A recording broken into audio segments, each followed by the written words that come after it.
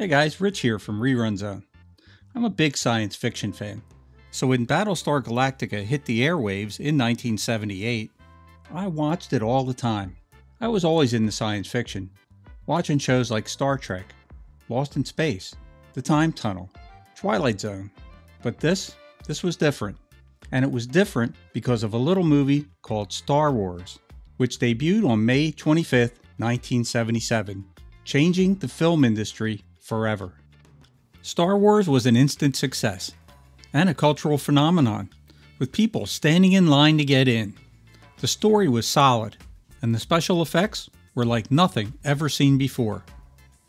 There was no CGI in 1977. Practical effects were king. Harrison Ford, Carrie Fisher, and Mark Hamill became superstars overnight. The sci fi epic was so popular it inspired a ton of similar things from other studios. That's where Battlestar Galactica comes in. So when Battlestar premiered in September of 1978, it was seen by many as a direct ripoff of Star Wars. Some of the people that saw it that way were 20th Century Fox Studios and George Lucas himself.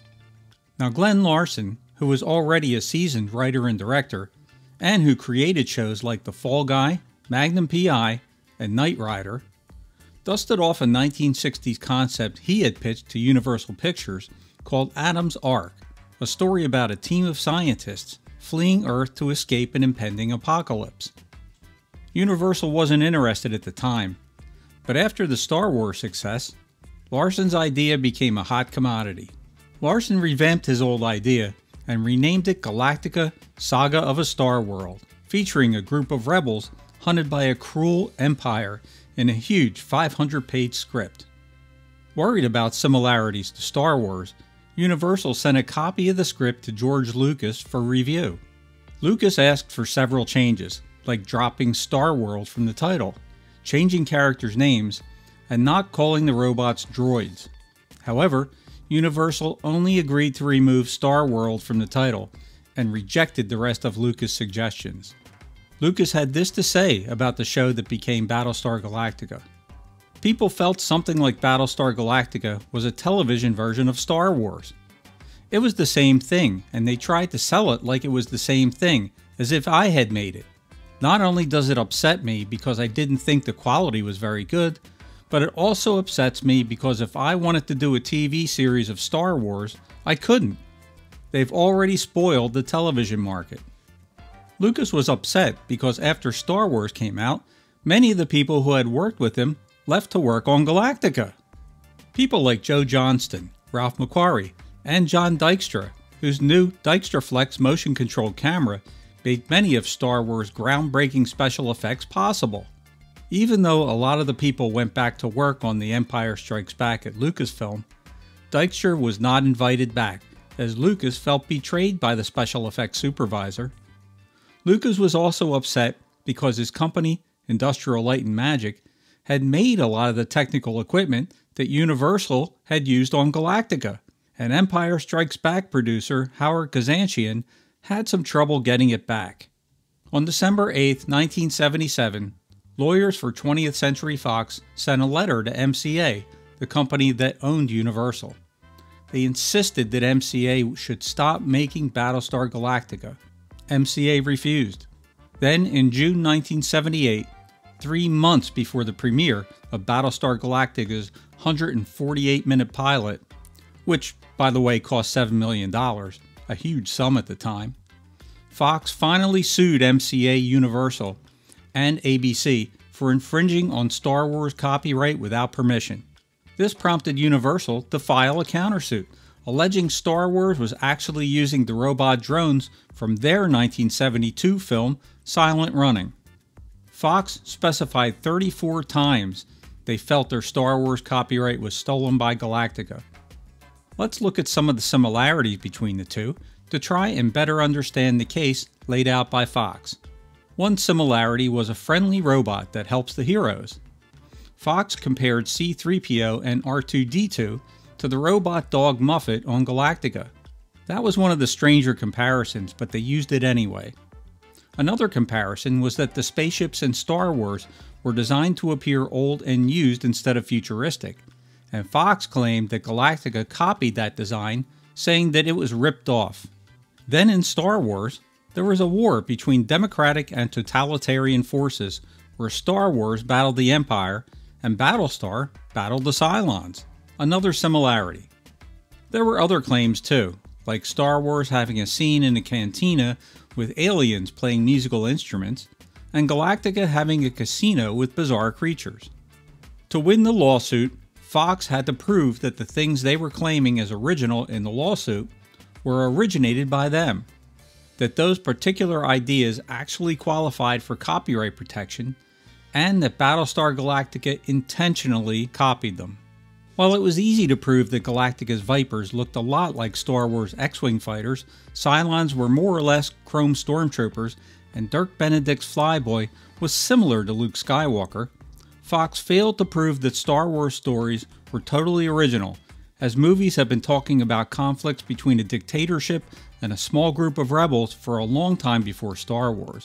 Also, Lucas Saga was not the first movie to have robots that were friendly.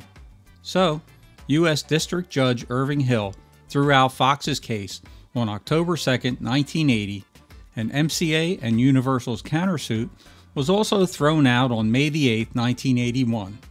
Then in early 1983, just before Return of the Jedi came out, the U.S. Court of Appeals said that Fox's case should be settled in a courtroom. Sid Sheinberg, the president of Universal, tried to persuade George Lucas to just leave the matter alone, but Lucas said, no, it's not over. We're settling when you pay off. The final verdict was never disclosed, but was settled in March 1984 before the case ever went to trial. Ironically, Battlestar Galactica had been off TV for a long time by then. In fact, after just one season, Galactica was canceled as the last of the 24 episodes aired on April 29, 1979. Then came the doomed Galactica 1980, which only ran for 10 episodes. Battlestar Galactica, of course, came back in 2003 under the direction of Ronald D. Moore and was a completely new show with almost nothing in common with Star Wars. In the years that followed, George Lucas talked about how he had written dozens of scripts for a live action Star Wars series that he couldn't make because the technology wasn't there yet to make it financially possible. Then Battlestar Galactica would be used as proof that high quality science fiction can be made for the small screen on a reasonable budget. The Galaxy Far, Far Away and Battlestar Galactica now have something else in common. In the 2003 version, Katee Sackhoff played Lieutenant Starbuck.